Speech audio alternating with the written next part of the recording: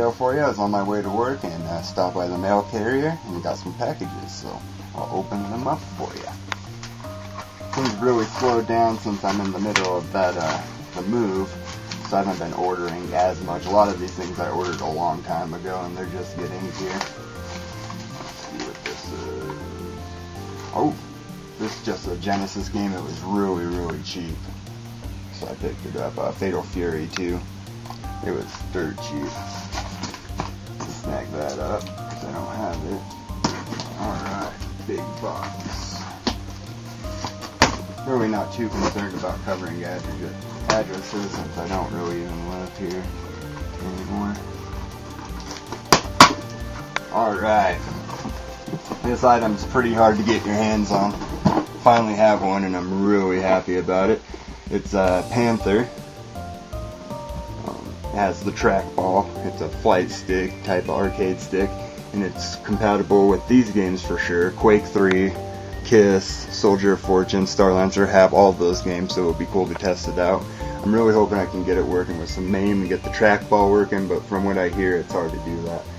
But we'll see. It even has the pictures of those games inside. I'll do an unboxing and a review.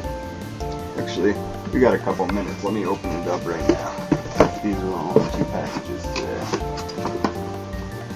I'm curious myself.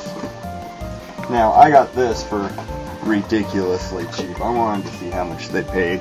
As you guys look at that. Well, they got 10 bucks, so, and I, I didn't pay much more. Well, I did, but I didn't pay a lot for this compared to what they sell for, and it's brand new. Like most of the accessories I get. It was real important that I got this new because I know how trackballs get over time.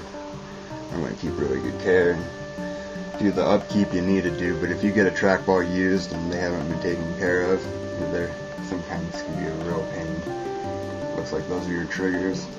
This is really nice. I like the buttons. Apparently when you plug it in and turn it on, there's a light underneath this. It makes the ball glow really nice blue. Really cool. I'm really excited um, check this out. I only got a couple. Ooh, that's that's nuts. It's nice. I'm I'm really stoked right now. Get all antsy. I gotta plug this in and give it a shot. So um, here it is. I'll do a review on that later. And, uh, that's the Panther.